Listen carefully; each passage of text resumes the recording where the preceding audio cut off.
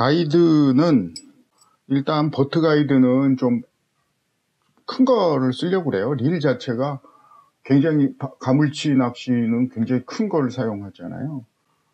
요즘 사이즈로 얘기하면 400번 사이즈. 옛날 거 그러니까 아부 엠베서더 릴로 얘기를 하면 5,000번 이상, 6,000번 이런 큰 릴을 사용을 하니까 일단 버트 가이드는 좀 굉장히 큰 20 사이즈까지로 사이즈로 올렸어요. 그리고 나머지는 마침 제가 이 롤라이더 가이더가 좀 있어요. 이, 이거를 그냥 활용을 하기로 했습니다. 이게 좋다는 얘기가 아니라 제가 이게 많으니까 이걸 소비를 좀 해야겠어요. 그래서 이걸 하기로.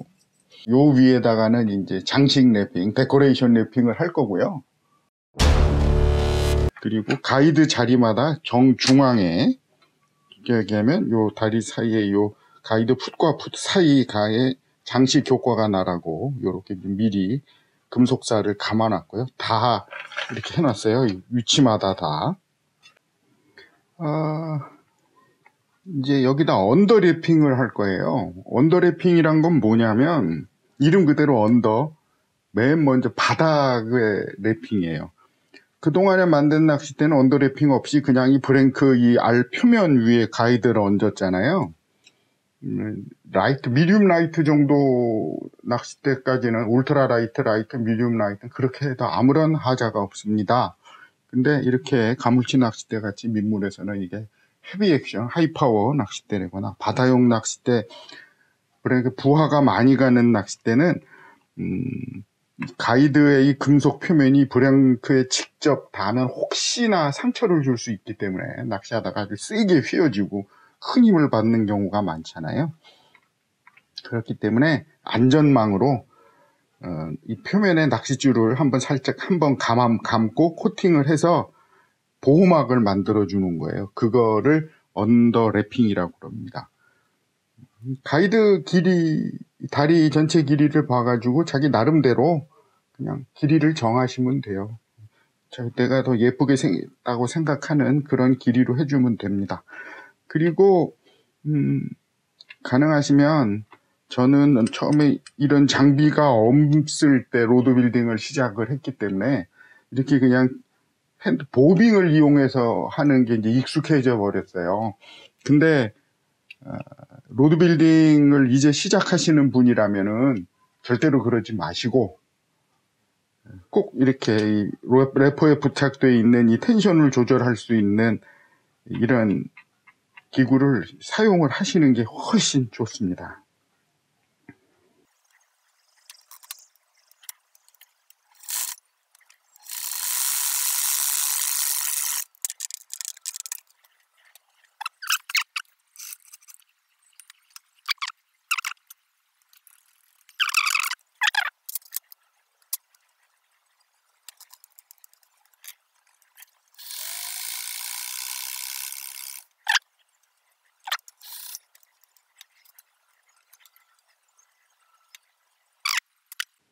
한번 코팅을 하고 어, 그 위에 이제 다시 가이드를 얹어서 가이드 wrapping을 하고 1차 wrapping 코팅을 하고 또 double wrapping을 하고 또 코팅을 하고 그런 이제 과정이 연속이 됩니다.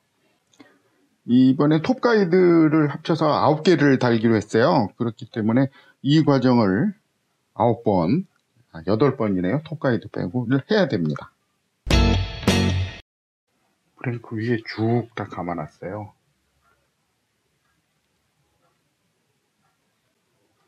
다 녹색 실로 감아버렸습니다. 다 잘 말랐어요. 하루 지나니까 좋습니다. 코팅을 이제 1차로 할 건데요. 음, 뭐 상식적인 얘기입니다만 코팅을 하는 날은 아무쪼록 건조한 날이 좋습니다.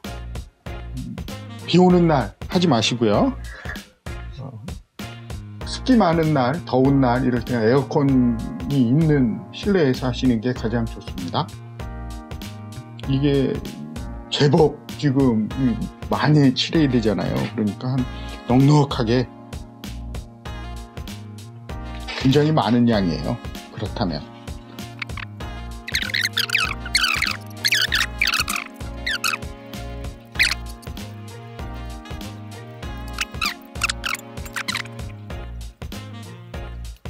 이전 동영상에서도 말씀드렸는데 이렇게 칠하지 마시고 브랭크 방향으로 칠해 주시는 게 표면이 깔끔하게 됩니다. 1차 코팅이니까 이 위에 코팅을 뭐 몇 번을 더 할지 모르겠어요. 한 번으로 끝나는 그런 거는 없어요. 그러니까 너무 욕심을 내서 두껍게 바르지는 마시고요.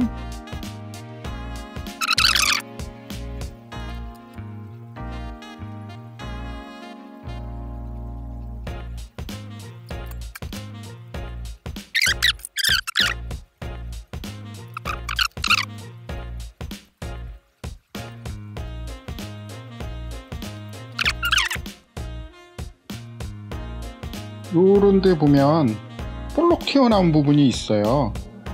이게 이제 그 끝에 이제 마무리로 할 때그 자투리 실 끝을 바짝 잘라냈지만 그래도 이렇게 코팅을 하는 그 부분이 살짝 실, 오, 실올이 살짝 솟아 있을 수가 있어요. 그 부분이 뾰족하게 이제 굳을 겁니다.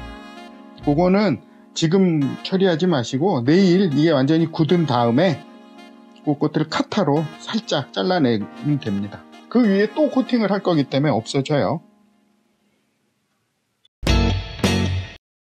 자, 가이드를 이제 올려서 더블 랩핑을 할 겁니다.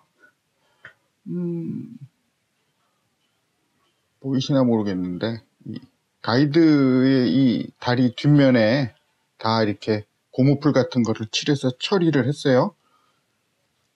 그렇지 않으면 어, crack이 원인이 돼요. 이렇게 그러니까 항상 rod building 할 때 가이드를 그냥 무작정 얹지 마시고 이렇게 바닥에다가는 뭔가 칠을 해 쿠션이 될 만한 걸 칠해 주셔야 돼요. 예전 동영상에 자세하게 설명을 해놓고 있어요.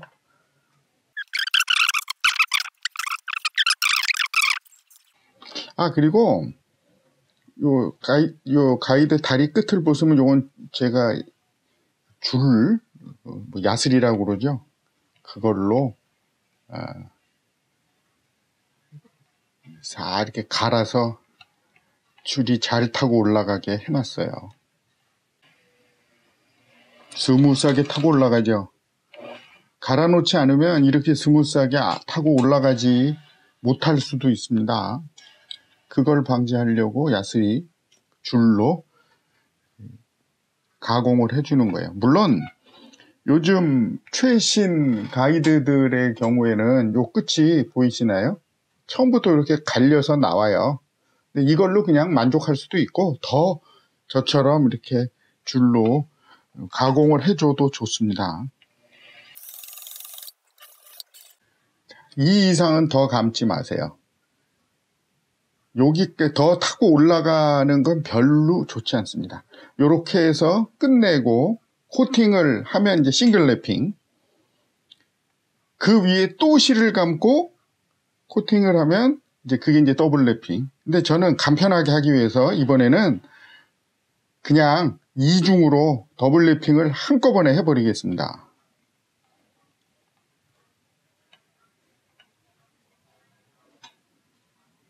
감아 내려가는 거예요.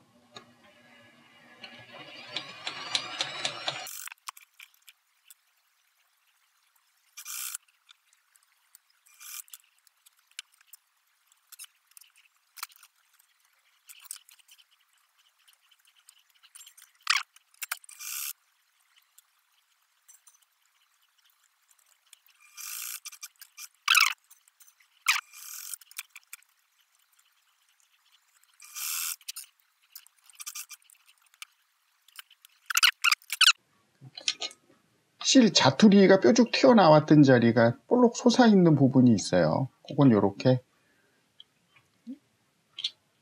칼로, 카타 칼로 살짝 잘라내 줍니다. 볼록 튀어나온 부분을.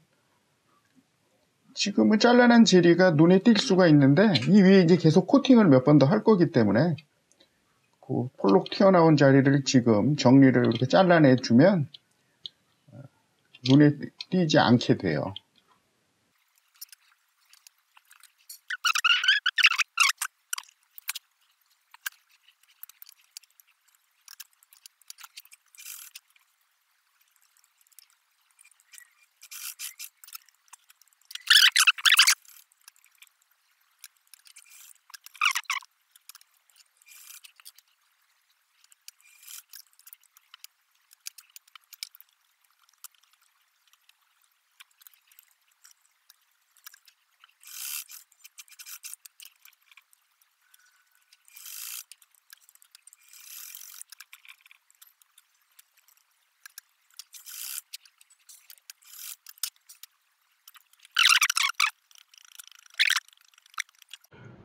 일단 가이드 랩핑을 다 끝냈습니다. 그리고 색깔 보존을 하기 위해서 일단 이 칼라 프리저버를 또 발라 주었습니다.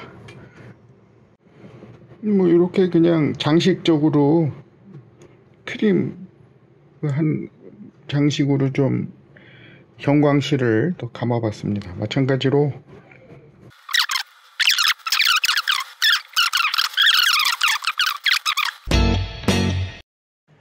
wrapping 위에다가 color preserver 바른 게 뭐 잘 말랐습니다. 에폭시 두껍게 좀 한번 칠하려고 합니다. 이게 얇게 여러 번 바르는 게 원래는 좋은데 이제 귀차니즘이 생겨서 전 전체적으로 일단 한번 발라주려고 합니다. 실은 요 부분에만 바르고 나서 통째로 이렇게 발라줘야지 정상인데 이번에는 그냥 전체적으로 발라보겠어요.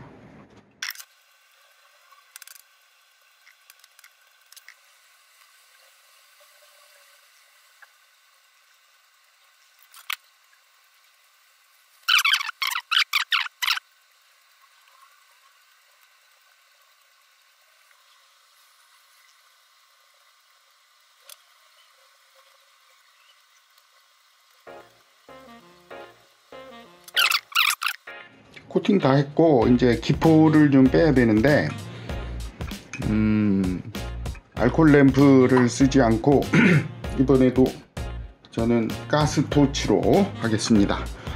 아, 원래 알콜 램프를 쓰셔야 돼요. 저는 그냥 알콜도 없고 알콜도 새로 사, 사러 나가기도 좀 그렇고 그래서 가스불을 아주 약하게 해가지고 알콜 램프랑 달리 이 가스불은 굉장히 불이 뜨거워요. 그래서 절대로 한 곳에 오래 비추면 안 됩니다.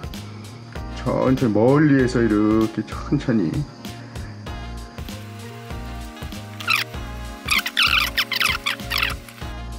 여기 좀 이게 검게 되는 부분 있죠? 이거는 칼라 프리저버를 바를 때 덜 발라져서 그런 거예요.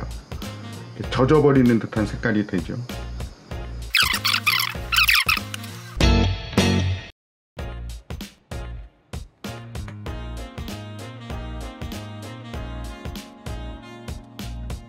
글자도 새기고 그 위에 또 코팅을 두 번 더 했습니다.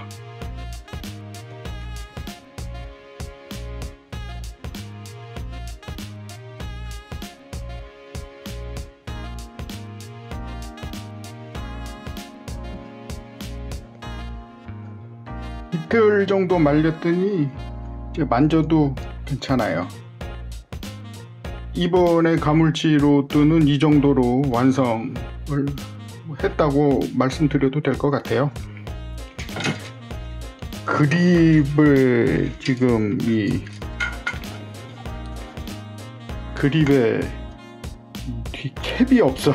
그래서 아이고 이 뒷꼭지를 어디서 구해야지 100% 완성이 될 것 같습니다. 이 고무 모양의 버트 캡을 집에 갖고 있는 게 있는가 했는데 맞는 사이즈가 없어서 일단 100% 완성은 추후로 미뤄야 될 것 같습니다.